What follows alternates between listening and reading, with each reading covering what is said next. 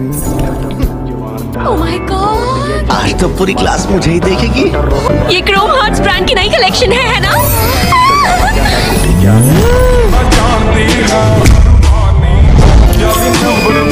घड़ी भी limited edition कम से कम 200 मिलियन वॉन की होगी। जियोल अच्छे ब्रांड्स पहनता है और उसका फ़ैशन सेंस भी बहुत अच्छा है। वो ऊपर से नीचे तक इतने महँगे ब्रांड्स पहनता है कि कोई खरीदने की सोच भी नहीं सकता। आह,